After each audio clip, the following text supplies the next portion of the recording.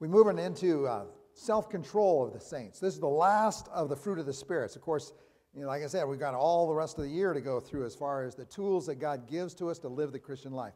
We come to this, it is the last of the fruit of the spirits. We did gentleness last week and we're doing self control this week. This self control may be the last, but it is not the least of the fruit of the Spirit. I didn't say one of the fruits, it is part of the fruit of the Spirit. It is absolutely essential for us to grab a hold of this concept of self control. I, I, when I came to gentleness and self control, I thought, well, maybe I combine those together. I think I mentioned that last week. I combine those together. And then I got into the gentleness, and oh my goodness, I could probably teach out of that for another couple of weeks. And then I went into self control, and I thought, well, you know, at least it's going to be small. And then I got into it, and oh, my goodness, there's uh, huge. It is huge. This self control, I think as we go through this, you'll see how powerful it is for us to understand it in our own lives. This is a fruit of the Spirit, which means the Holy Spirit brings it to us. We have this inside of us as a believer in the Lord Jesus Christ. You have the ability to have self control empowered by the Spirit of the living God that wants to produce it within you. But to see the importance of this is amazing. Uh, the first slide on this thing is the definition of, of this self control. It comes from a word, enkratia, enkratitia, or whatever. I can't pronounce Greek, but nevertheless, it comes from the word kratos, meaning strength or power. And we, we get the word democracy from that. Yeah, we get that word, the crassy part of there is, this, is the in part, is uh, the power of the people. And so it is, it is power. It's talking about power. It's not, it's not talking about not having any power. It's talking about having a huge amount of power, but having it under control. Having under control. And I, I like the little the drawing in the, in the uh, bulletin that Judy put in there where the, the dog is there with his little tail directing him. It's self control, it's, it's self guiding. It's, it's, I am under control. I have this power that I have inside of me, but it is under solid control, is what it's talking about. Uh, the synonyms for that is temperance, restraint, control, self governance. You are self governing in this thing. It is, a, it is a powerful tool for us, and we need to see it in contrast with another thing. Self control is, is opposite to akrasia, or no control.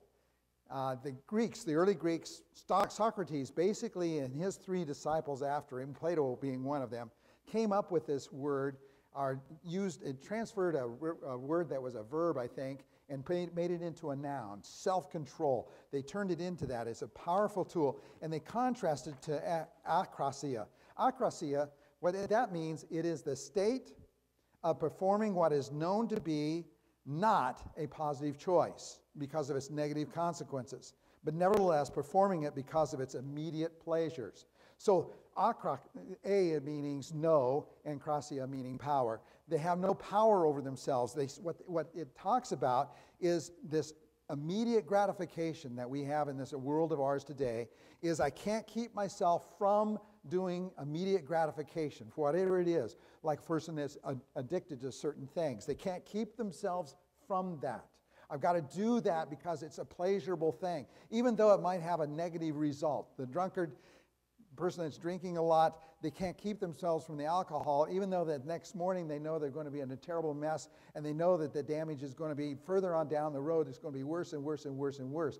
They, they ignore that. The person who's smoking says, Well, it may not happen to me, but they know that one out of three people are going to die that smoke. Yeah, that's, that's the thing. I, I saw a, a commercial on a, before a TV or a um, video, and uh, it had these people jumping off a bungee thing and going down and, and picking up a pop.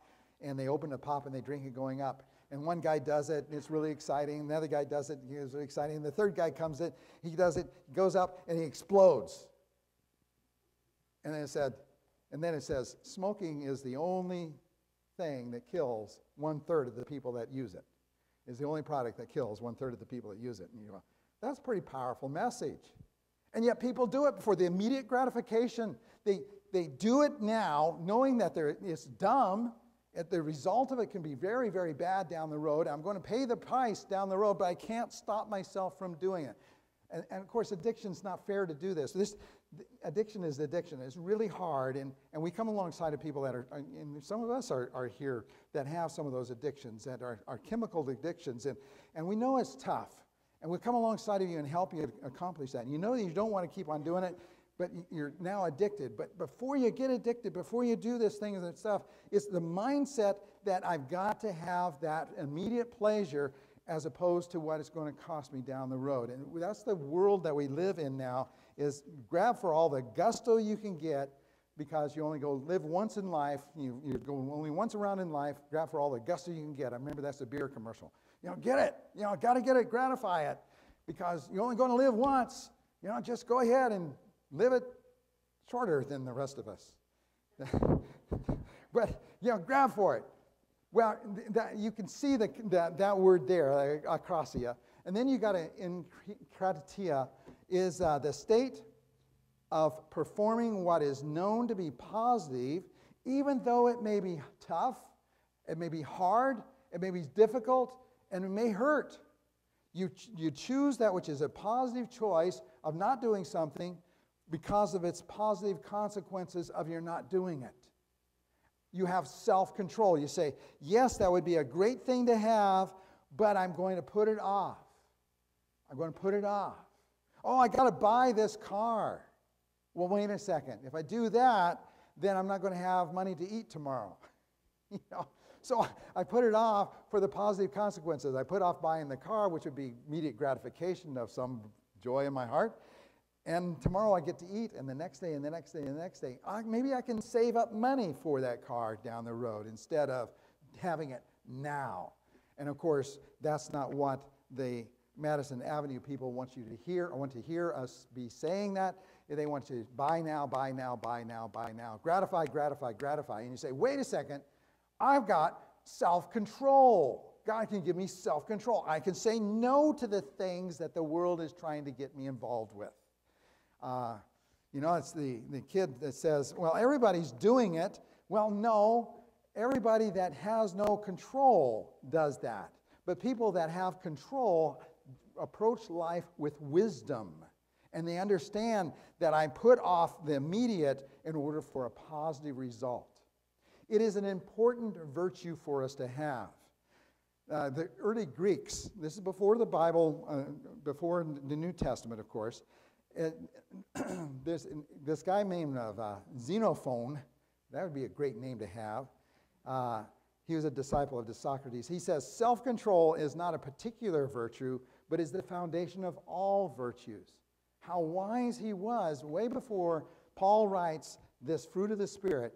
But we come down to the thing is that self control is essential for all the functioning of the fruit of the Spirit. You have to have self control to love. You have to have self control to be gentle. You have to have self control to do any of the fruit of the Spirit. Even joy, it's self control. That I have a knowledge that the things that I do are going to have consequences down the road, and so I do the things that are going to have positive consequences down the road. That's how I'm going to act.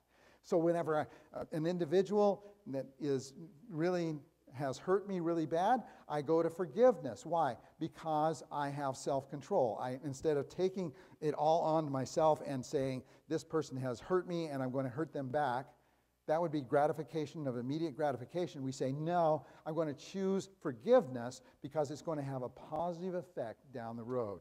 It is required of us, it is essential for us as believers in Lord Jesus Christ to understand that the gifting of the self control that God gives to us through the power of the Holy Spirit is absolutely essential for us to develop. It has a righteous connection. In Acts 24 25, it says this. Uh, Paul is, is uh, doing this. He says he's before Felix, he's standing before him, he's on trial, and it says this in verse 25. It says, But as he was discussing righteousness, self control, and the judgment to come, Felix became frightened and said, Go away for the present and when I find time, I will summon you. Now, why in the world did Felix get frightened? Him talking about righteousness, self control, and the judgment to come. Well, the, here's the righteous connection. There is a righteousness. It is required to be for to be well, that's not good wording there. It is required for us to have eternal life, okay? It's required for us to have eternal life, is this righteousness. It's a righteousness that not is not of the righteousness of human beings, what we can do. It is the very righteousness of God that is required for us to have eternal life. And say, how do you? Oh my goodness, that is what's required for us to come into the presence of God. Is the very righteousness of God. And then there is judgment, and it comes to all who lack that righteousness. That's what judgment is. The judgment is, is there. It is of God. And if you do not have the very righteousness of God whenever you go into his presence, then there is going to be this judgment. And so, in between those two is self control. Here's the righteousness of God, here's the judgment, and here I am. I am called on to have self control. And that is the reason why Felix was having trouble with it. Felix became frightened. This is the next slide. Felix became convicted that he lacked self control and was therefore subject to the judgment. That is the reason why he became frightened. Now, the gospel comes along and helps immensely in this whole thing, but the result of this conviction was the fear of the judgment. And that's where we present, when we're presenting the gospel, that is one of the things that is necessary for people to come to realize is that because God requires absolute righteousness, I have failed to grab a hold of that through my self ability of controlling myself. I've done that which is evil in God's eyes. Therefore, I am subject to the judgment. Now, the thing is, of course, is there any hope for us at all in that situation? Because no matter how much self control I might have, I can't do the righteousness of God. I can't do it. But here comes the gospel, and that's what is amazing. In Titus 3:5 it says this: He saved us not on the basis of deeds which we have done in righteousness, but according to his mercy by the washing of regeneration and the renewing of the Holy Spirit. So, not that we have done in righteousness, but it is according to his mercy which grants us his righteousness. When I believe that Jesus is the Christ, the Son of the living God, is my Savior, I believe the gospel God considers our faith in His Word, in what He has said about His Son, as the very righteousness of God Himself. That's what He did with, with uh, Abraham. He believed God and it was credited unto him as righteousness. So also when we believe the gospel, it is credited unto his us the righteousness, not of our own righteousness, which cannot stand before God, but the very righteousness of God which comes from, uh, to us on the basis of faith. So, there is hope for us. Uh, the power of God, the next slide here, it says, The power of God that gives us new life keeps on working within us, renewing and transforming us. So, if you remember that verse in Titus 3:5, He saved us according to His mercy by the washing of regeneration and renewing of the Holy Spirit. So, what happens is whenever I come to faith in the Lord Jesus Christ at this point in time, I have the righteousness of God. I can go home to be with the Lord Jesus Christ. But I've got a journey still go. If everybody that believed on the name of the Lord Jesus Christ went every time they believed, God took them home, uh, the gospel would not go well. you know, oh, I don't want to do that. I'm not sure where they went. You know, uh, okay, but uh, but he lets us stay here upon the face of this earth to win our loved ones, to win the lost, win a proclamation to the world around us that there's a good God in heaven that saves us and has a heart for us and wants us home. And so then I've got this journey that I've got to go on. And in that journey, God has re- washed me from my sins, and I step out to be renewed by the Holy Spirit on a daily basis. I become more and more and more like Jesus as I go. That is God's methodology. Now, true, it'd be faster and easier for me to go home to be with the Lord Jesus Christ and be instantly transformed. That'd be great, but it's not so good for the rest of the people left behind. So, therefore, we submit to the process that God gives to us to go through this thing to get to the end. I go there because God has done that, because He is doing. Self control is indeed a fruit of the Spirit, it is what God does in us. Now, we go to the place of saying, okay, I've got the Holy Spirit.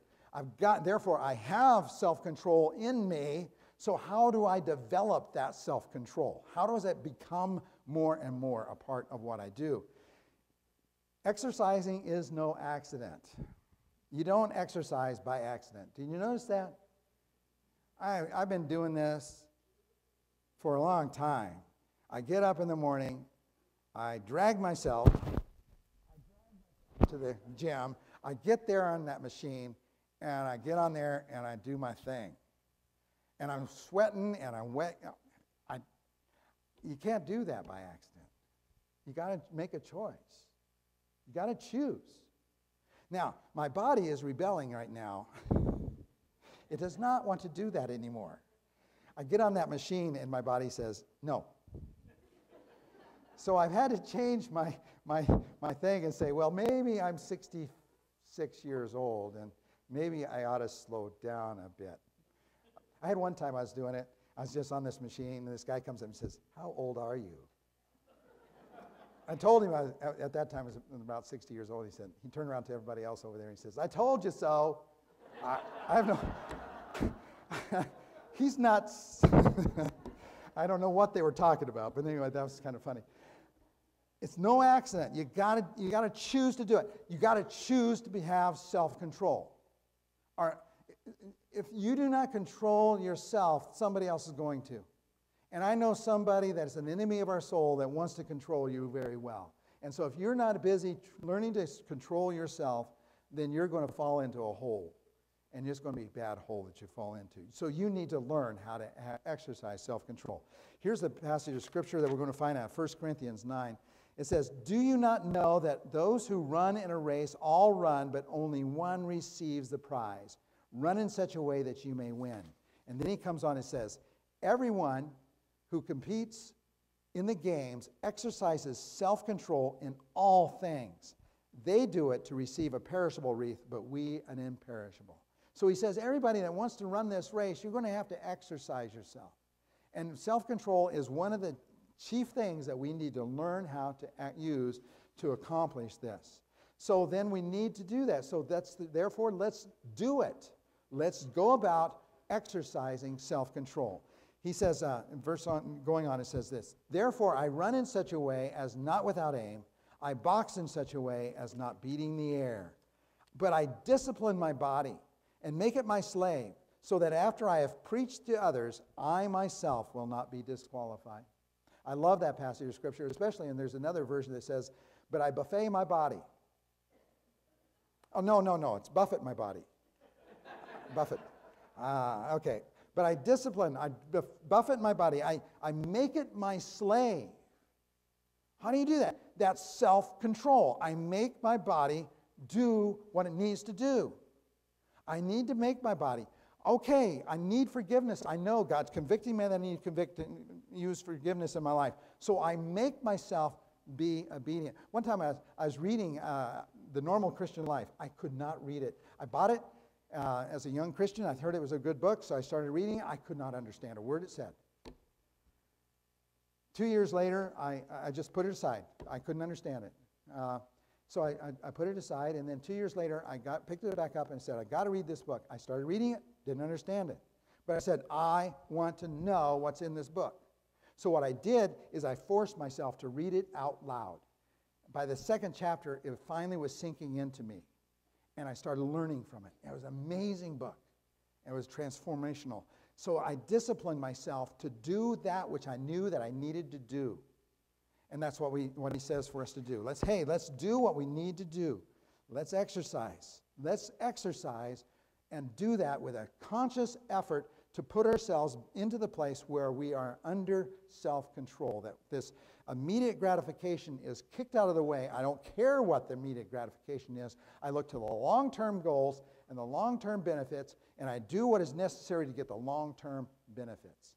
It is a powerful tool for us to accomplish. It is all part of the mix, is the next slide. Now, for this very reason, also applying all diligence in your faith, supply moral excellence, and your moral excellence, knowledge. And in your knowledge, self control. Okay? In your knowledge, self control. Out of the knowledge that you read out of the scripture, we need to apply self control. Why? Because I need to apply it in my life. If I find something in the scripture that I, I need to follow, it's like James says the scriptures are like a mirror. When I look in the mirror and it says, My hair is messy, I supposedly, you know, try to make it unmessy. Uh, you'll have to decide whether I succeed at that or not.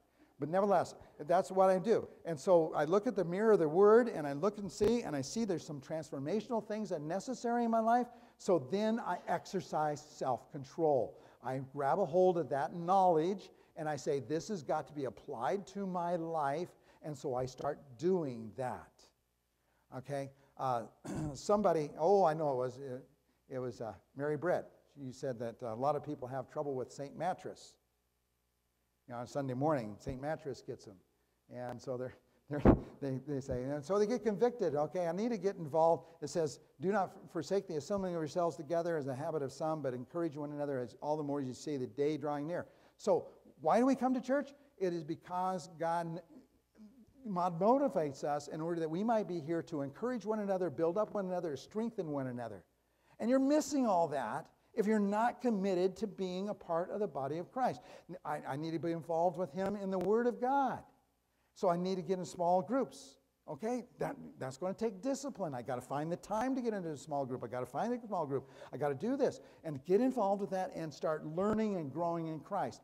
I, I got to pray. I got to get involved with prayer, not only by myself, but I need to get involved with other people to get praying. So get involved with the, the, the prayer chain, whatever it may be that God is leading us to do to accomplish this. I need to exercise self control to do that, or else I'm going to be out there just not growing in Christ.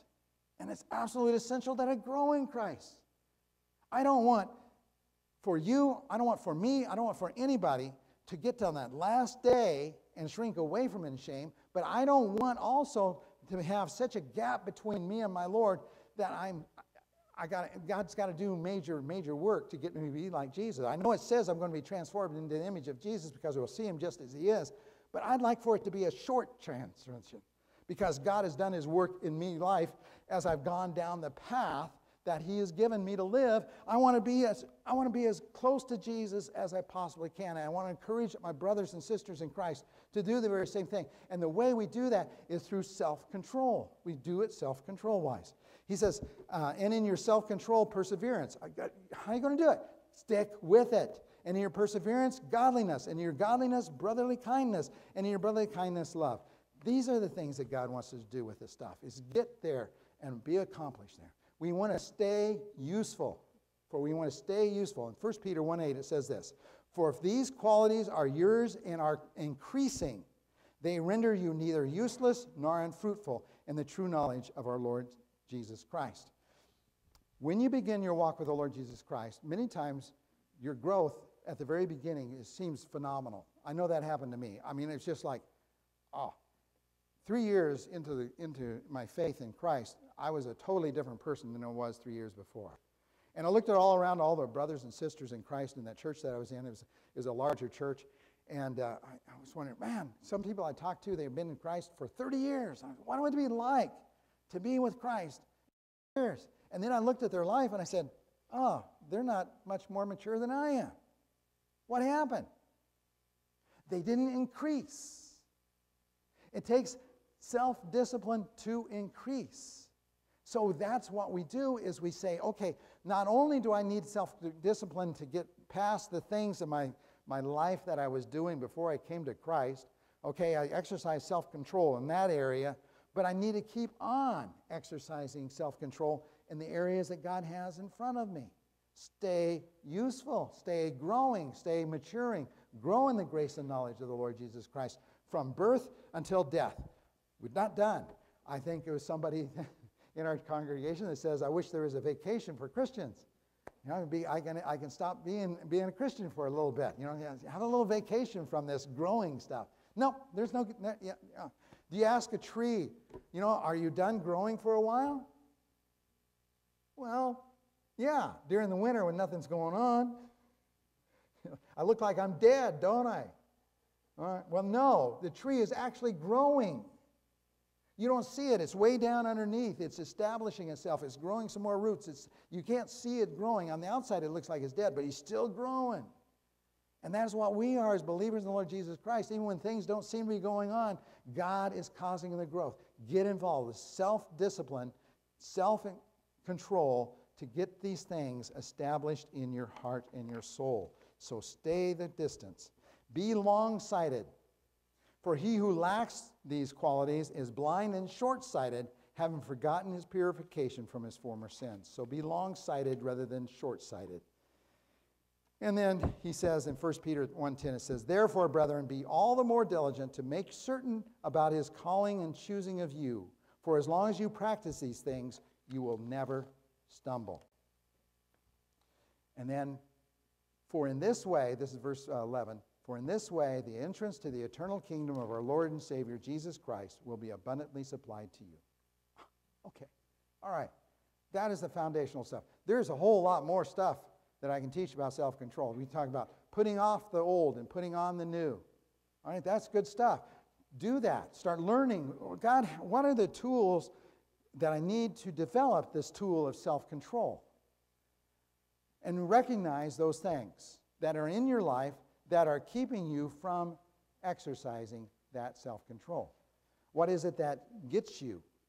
Whatever draws you into it and keeps you from furthering your walk with the Lord Jesus Christ. Now, there is a place for recreation. Even Jesus went away from the crowds.